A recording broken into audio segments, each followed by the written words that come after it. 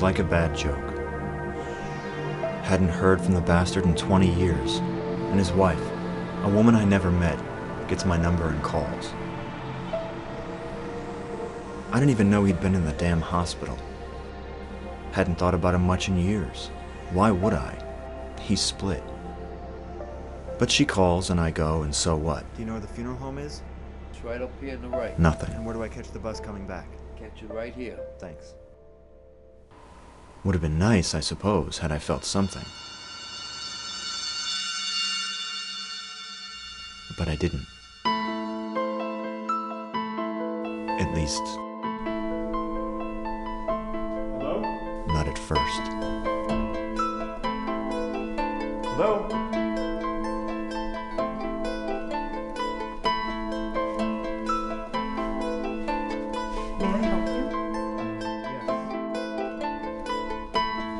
So she leads me down this hall, where they have him in this room.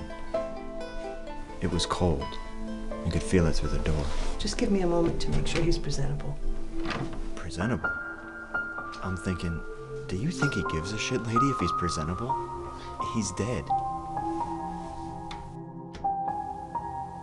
Then I go in, and the stench is horrid. And I guess I said so because she gives me this look, like I should have some respect for the smell of the dead or something. So she goes out, and after 20 years, there he is. So I tell him what I think. I said, You should have been there, you old dead bastard. You should have been there. Anyway, I don't know why I'm talking to him, but I had all these questions, right? Like, why'd he split? Then I go to touch him, and behind the neck he's still warm. I felt like I could feel the life leaving him, like somehow some part of him was still there. Then I opened his eyes, and he wasn't there.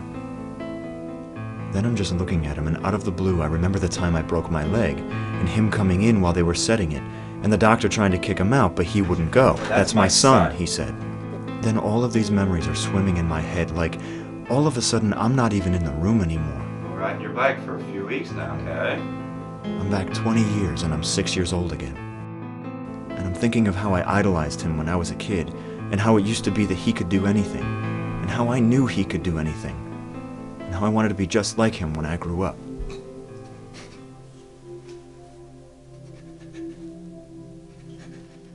You know, when you get older, Boy Scouts and Cub Scouts.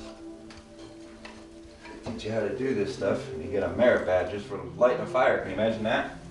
Anyway, the thing is, I'm standing there and I'm dreaming it, and then the lady comes in, and I notice I've got these tears running down my face. Take all the time that you need. And I'm feeling naked too, because I'm crying like a child in front of this lady.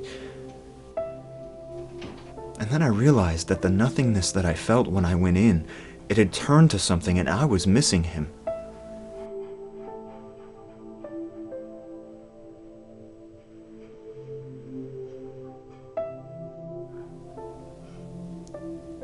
Then I was thinking about why I'd never changed my name to my stepdad's. It's like I'm the last male, and somehow that's always mattered somewhere. Bloodlines, I don't know. Anyway, finally I remember the book my buddy had given me that I took, because no matter what my old man did, I was going to read a prayer over him at least. And my friend had said, no matter what my father did, I owed him because he gave me the gift of life. And I remember I said, Great, some gift. But then I get there and I see him, and suddenly I realize that it was an excuse, you know? I don't know. I suppose I blame the guy for not being there. And as much as I wanted him to be responsible for all that I had lost and none of what I gained, I suddenly realized that he did what he did simply because he couldn't do anything else, and that I really did owe him. Anyway, then I read my prayer over him. And he walketh in all the sins of his father, which he had done before. And I was getting kind of scared too when I was reading his it, heart was not perfect with the Lord, because it felt like something big was happening. and he did worse than all that were before him. Lord, I pray thee, let this child's soul come into him again. All I know is after all of it, I suddenly found myself standing there in this. This moment of grace. And suddenly, everything's fine.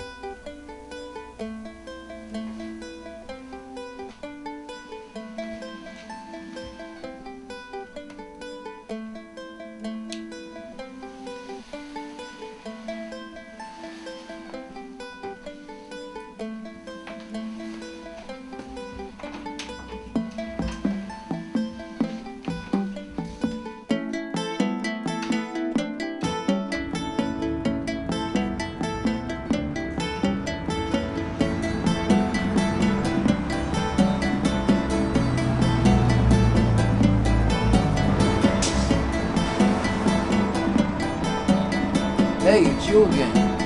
Yeah. Yeah, I think so.